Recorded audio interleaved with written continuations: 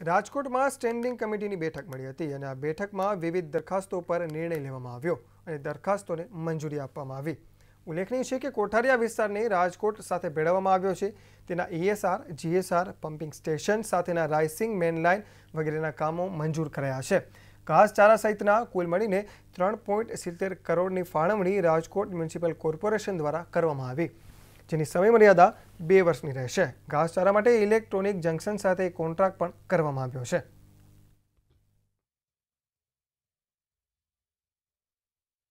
ખારિયા વિસ્તાર જે નવો ભયડો છે, ત્યાં ત્રણ અલગ અલગ દરખાસ્તના આધારે ઈએસઆર ને જીએસઆર જે ત્રણ હેડવર્ક છે, એના ઈએસઆર જીએસઆર અને પમ્પિંગ સ્ટેશન સાથેના રાઇઝિંગ મેઇન લાઇનના કામ મંજૂર કર્યા છે.